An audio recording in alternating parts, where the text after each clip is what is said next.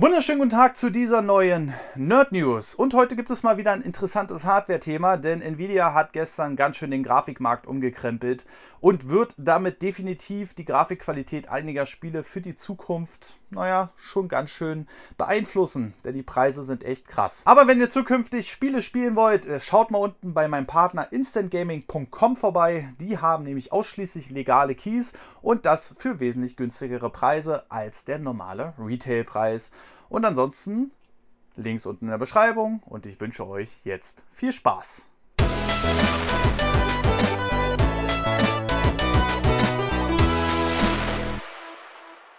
Starten wir doch erstmal mit der Nvidia-Präsentation gestern und die dürfte durchaus interessant sein für einige, die vor allem die letzte Generation gekauft haben. Denn Nvidia hat gestern seine neue Ampere-Generation vorgestellt und äh, die hauen ganz schön rein, die Karten. Und nicht nur die Leistung der Karten haut rein, sondern auch der Preis. Denn die kleinste Karte, die Nvidia RTX 3070, kostet 499 Dollar und ist laut Nvidia so schnell wie eine 2080 Ti, die vorher 1259 Euro gekostet hat. Und diese 499 Dollar sind dank des guten Euro-Wechselkurses gerade bei 499 Euro in Deutschland und 549 Euro in Österreich. Und das ist äh, ganz schön deprimierend für die Leute, die jetzt noch ihre alten Karten loswerden wollen. Denn auf Ebay geht gerade der Preiskampf los und teilweise kriegt man da eine 2080 Ti für 400 Euro und das ist schon eine krasse Nummer. Wenn ihr damit leben könnt, dass die 3070 ungefähr 3 GB weniger RAM hat und damit irgendwie ja auch nur bedingt 4K-fähig ist, aber ihr vielleicht gar keinen 4K-Monitor habt, dann ist das die perfekte Karte für euch. Denn so viel Leistung gab es noch nie fürs Geld auch wenn ein bisschen mehr Strom dabei verbraucht wird. Aber es gibt noch zwei weitere Karten, und zwar die 3080 und die 3090. Und die 3080, was soll man sagen, ist ein absolutes Preis-Leistungsmonster. 699 Euro wird die kosten, hat aber so viel Leistung wie zwei normale RTX 2080. Und Digital Foundry hat das auch schon mit normalen Spielen getestet. Leider nur so ein bisschen angeteasert, aber man sagt, wenn eine 2080 Ti ungefähr 100% Leistung bringt, dann bringt die neue 3080 180% Leistung, was ungefähr dem entsprechen würde, dass sie doppelt so schnell ist wie eine 2080. Und das ist ein wahnsinniger Leistungssprung. Wer allerdings nicht genug kriegen kann, der kann sich jetzt den Titan-Nachfolger holen, die 3090. Die kommt mit satten 24 GB Grafikspeicher, kostet dafür aber auch 1499 Euro, beziehungsweise in Österreich wieder 50 Euro mehr. Allerdings ist die schon Wahnsinn, denn die ist knapp doppelt so schnell wie eine 2080 Ti. Wenn ihr euch denn die Stromkosten leisten wollt. Aber naja, Hobbys sind ja nicht immer günstig, denn mit 350 Watt Verbrauch müsst ihr manchmal rechnen in Leistungsspitzen. Aber was soll man sagen? Niemand hat damit gerechnet, dass Nvidia die Preise jetzt bei der neuen Generation so drastisch senkt. Auch nicht die 2080 Käufer. Und äh, ja, auf die 3080 bin ich auch sehr gespannt. Die wird nämlich 10 GB Grafikspeicher haben. Aber durch das optimierte Herstellungsverfahren wird man da wohl noch einiges rausziehen können. Wow, damit habe ich so kurz vor dem Konsolenlaunch nicht gerechnet. Aber kommen wir mal ganz kurz zur Software-Sparte und es geht wieder voll in den Konsolenfokus, denn tatsächlich wird es eine neue Ubisoft Forward Show geben. Und zwar am 10. September um 18 Uhr wird es soweit sein. Was Ubisoft da vorstellen wird, wissen wir noch nicht, aber ich bin schon gespannt, ob es eventuell den ein oder anderen Titel für den Nintendo Switch geben wird. Äh, auch wenn ich es ehrlich gesagt bezweifle. Aber ja, jetzt wisst ihr Bescheid und natürlich werden wir uns das Ganze auf twitch.tv slash nerdovernews zusammen angucken.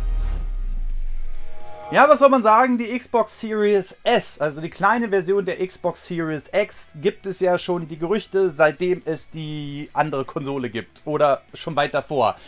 Und irgendwie hat sich Microsoft noch gar nicht dazu geäußert. Vielleicht will man ja so einen Preisbrecher rausbringen oder ähnliches. Allerdings muss man auch dazu sagen, äh, ob die Konsole Sinn macht, weiß ich derzeit noch nicht. Und ob es die Entwickler einschränkt und so weiter, das muss man dann alles sehen, wenn es soweit ist. Allerdings gibt es neue Hinweise auf diese Konsole, denn tatsächlich gibt es jetzt nicht nur den Hinweis auf den aktuellen Xbox Series X Controllern, die haben ja eine Anleitung dabei und da steht auch kompatibel mit Xbox Series X slash S, sondern es gibt jetzt auch den Hinweis auf den neuesten Game Pass Vouchern, die den aktuellen Xbox Controllern beiliegen. Und auch hier steht mittlerweile drauf, dass die kompatibel sind mit der Xbox Series S. Also, dass diese Konsole kommen wird, sollte so gut wie sicher sein. Allerdings weiß noch niemand, wie die aussehen wird. Ziemlich sicher ist man sich allerdings, dass die Konsole kein Laufwerk haben wird und ja, auch wesentlich weniger Leistung, aber halt ein günstiges Einstiegsgerät sein soll. Was mich halt bloß wundert, es wird immer noch von 4 Teraflops gesprochen, was einfach unter der Xbox One X liegt. Äh, ich hoffe jedenfalls, dass man zumindest die Leistung der One X aufgreifen wird. Aber es gibt auch noch weitere Hinweise zur neuen PlayStation 5 und auch hier müssten wir eigentlich endlich mal Details erfahren, denn soweit ist es nicht mehr. Wir haben Anfang September und die Konsolen sollen laut den Gerüchten Anfang November erscheinen. Zumindest bei der Xbox ist vom 6. November die Rede, aber das ist nur ein Hinweis nebenbei. Jetzt ist natürlich die Frage, wann kommt die PlayStation? Welche Preise müssen wir bezahlen? Und so weiter und so fort. Aber es gibt einen weiteren Hinweis, dass definitiv auch die PlayStation 5 auf einen optischen Audioausgang verzichten wird. Und das kommt nicht irgendwie von Leaker XY, der Twitter-Account vor drei Tagen erstellt hat, sondern tatsächlich von dem Headset-Hersteller Astro. Und die sagen tatsächlich, wenn ihr die neuen Astro-Headsets mit einem optischen Ausgang verwenden wollt, dann braucht ihr einen passenden Splitter dazu, den natürlich Astro mitverkauft. Also bei der Xbox Series X und bei der PlayStation 5 wurden die optischen Ausgänge eingespart. Das ist natürlich für Audiofans eher negativ, aber HDMI hat die letzten Jahre gut aufgeholt. Problem ist halt bloß, wenn man älteren Receiver hat, dann wird man wahrscheinlich auf Probleme stoßen, denn die haben ja noch ältere HDMI-Standards. Aber sonst habt ihr den optischen Ausgang verwendet? Lasst mal eure Meinung unten da. Aber noch eine weitere interessante Meldung zur PlayStation 5 gibt es, denn tatsächlich ist das PC-Geschäft für Sony ein ganzer Erfolg. Death Stranding und auch Horizon Zero Dawn haben sich verdammt gut verkauft auf dem PC und das war natürlich eine Testfahrt sozusagen. Und Sony sagt jetzt, ja, wir werden auch weiterhin den PC unterstützen, denn das lohnt sich für uns. Und wir werden auch weiterhin mehr Studios einkaufen. Man ist wohl mit vielen Studios in Gesprächen für die PlayStation 5 und ja auch für den PC. Ob es so bleiben wird, dass die Spiele ein oder zwei Jahre später kommen oder ähnlich wie bei der Xbox dann parallel rauskommen werden, das steht natürlich noch nicht fest, aber ich gehe davon aus, dass Sony erstmal eine Exklusivstrategie fahren wird, dass man die Spiele zuerst auf der PlayStation 5 bekommen wird und dann irgendwann mal für den PC. Interessant, wie sich der Konsolenmarkt mittlerweile ändert. Aber wenn wir jetzt nochmal zurückspringen auf das erste Thema bei Nvidia, die Leistungsfähigkeit der neuen RTX-Karten ist schon ein Riesensprung und Dagegen sehen die Konsolen schon fast wieder so ein bisschen alt aus. Aber nur, wenn man natürlich von den theoretischen Terraflops ausgeht. Und die sagen nun mal nicht allzu viel aus. Nintendo hat es getan. Ja, Nintendo hat klein beigegeben.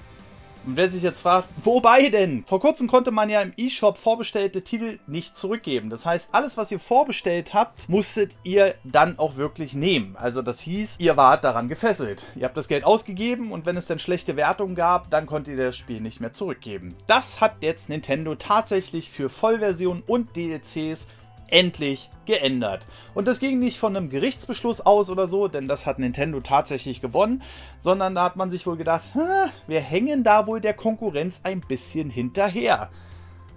Ja, so wie Nintendo Online halt. Ne?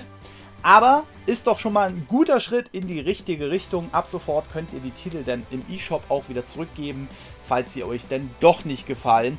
Und ja, ich finde das richtig und auch wichtig, denn man will natürlich nicht die Kunden an andere Plattformen wegen so einen Lappalien verlieren, gerade bei Drittherstellertiteln, die schon besser auf den anderen Plattformen laufen werden, aber halt nicht mobil spielbar sind. ist es schon ein entscheidender Punkt. Und dafür Daumen hoch Nintendo. Aber es wird auch langsam Zeit.